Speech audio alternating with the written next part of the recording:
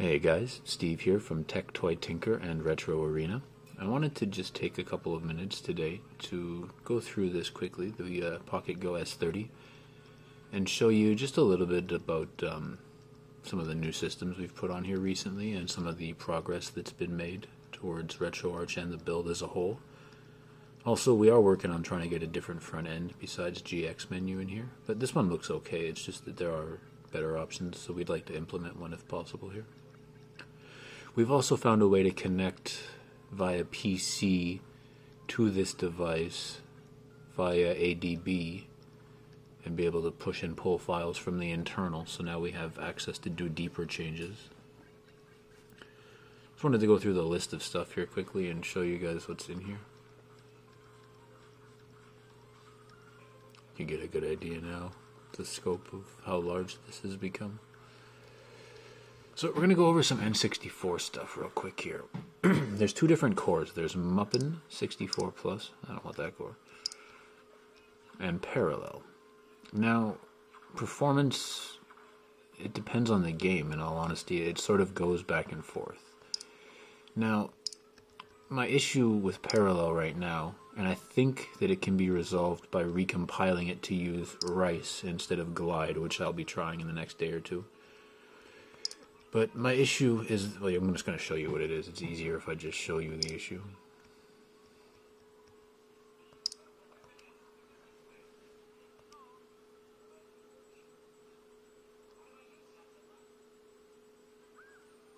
So we fixed the volume button here now so you can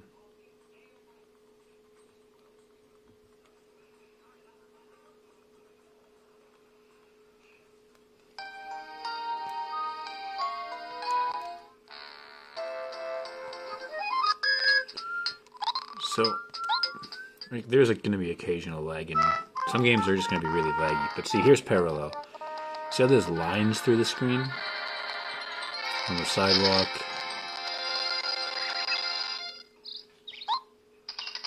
Can't read any of the graphics. The uh,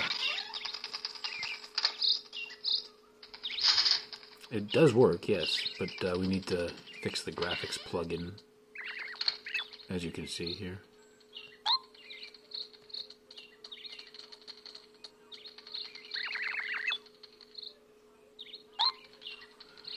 But it does work.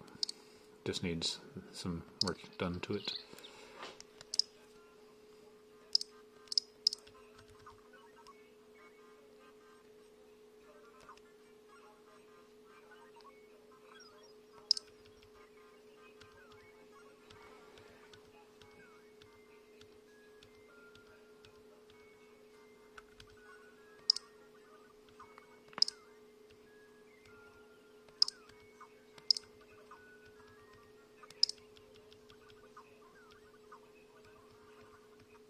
I'm going to load the same game using Muppin or Mupin, however you want to pronounce it, instead of Parallel, just to show the difference between the two.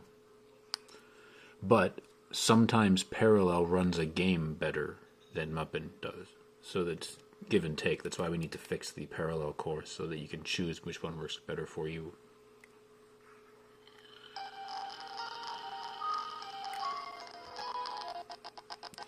So you can hear there's more lag here in this game.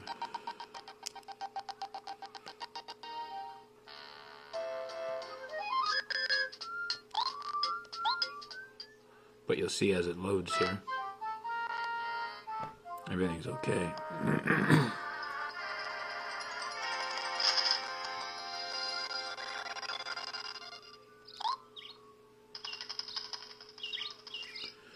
So, there's a little bit more lag in this particular title using Mupen, but the graphics aren't um, buggy or glitchy.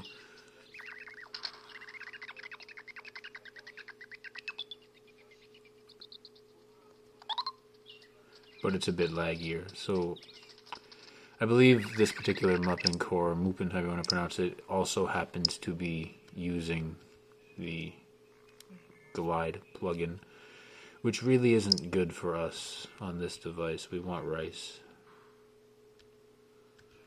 Glide just uses more resources that we don't really have available to us. So we need to work around that.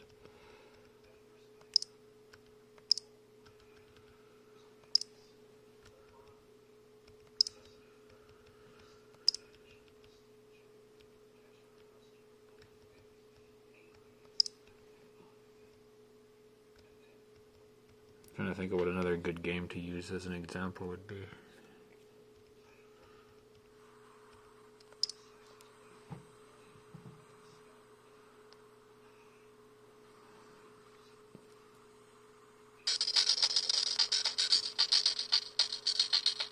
See those lines through everything? Broken graphics again.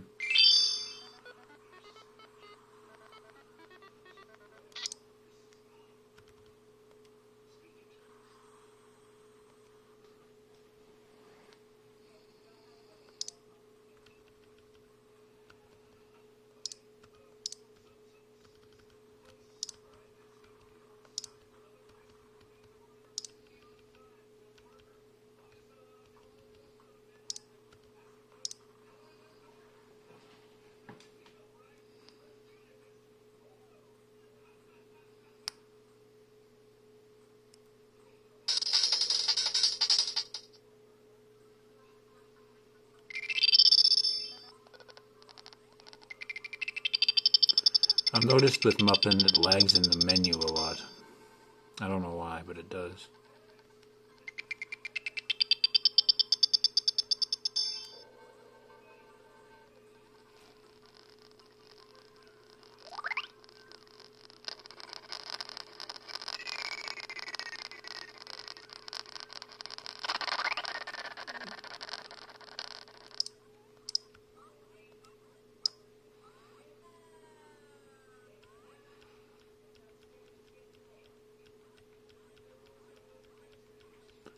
There are some games that work okay.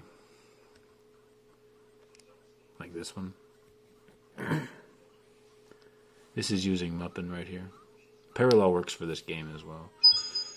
But normally, inside of Parallel, we have other options, like to select plugins, which we don't have here.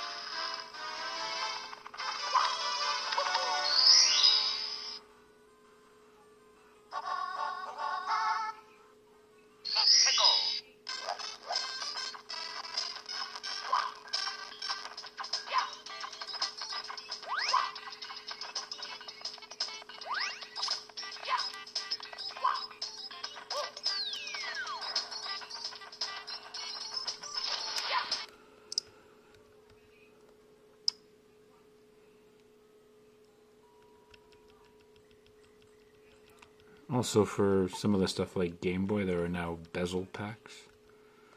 So if you were to launch, say, Donkey Kong here.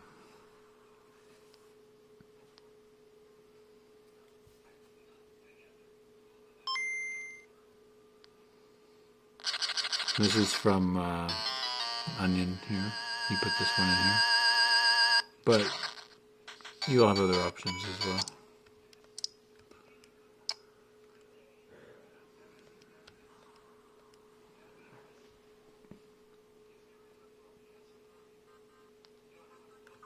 See, there's the custom bezel packs on the side here. And then we got Super Game Boy here as well. And Super Game Boy takes a Game Boy game, does this to it.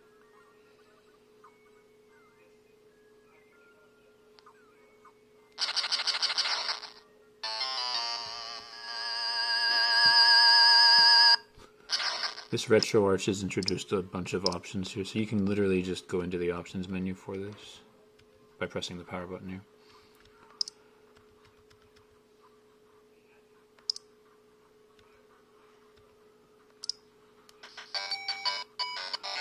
You can control the color palette.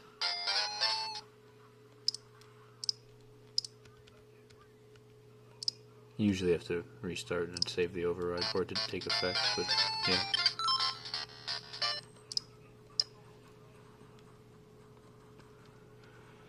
So N64 needs work, but it's definitely coming along. It's got a lot further recently. Uh, that's about it for this particular video. As always, thanks for watching. Don't forget to like and subscribe. Take care.